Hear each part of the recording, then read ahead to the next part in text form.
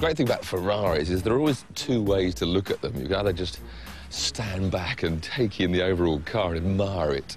But perhaps even better with Ferraris is just to get close. I love going to look at the detailing of the cars. So just look at these little wing mirrors. They're not just styled, they are shaped aerodynamically to feed the air through the centre, flow the air back for the air intakes. But the engine itself is right down in here.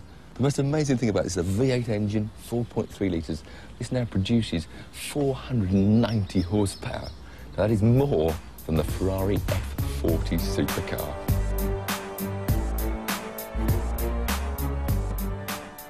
They take so long. They're all supposed to be quicker, but they still take long. When you want to get going, ah, must be finished. So it must be time to...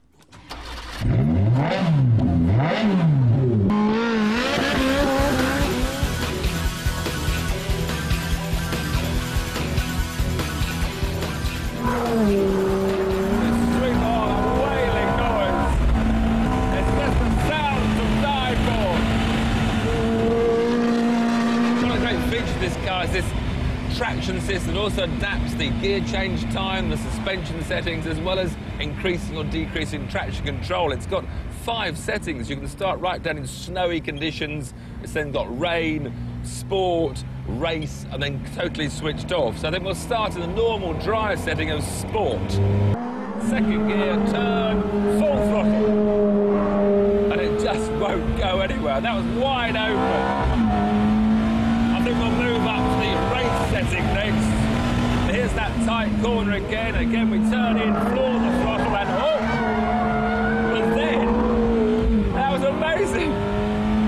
At first, the back went out. It allowed to put the opposite lock on the control in, but then at the moment it would have spun on full throttle, then the traction control came in and helped me out.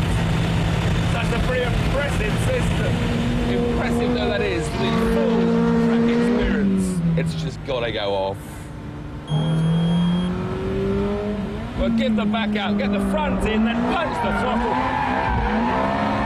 But now I have to do all the car control. It's think this is a car that can do nearly 200 miles an hour. It's got 490 horsepower, but it can still be driven like an everyday sports saloon. But I don't really want to drive it like that.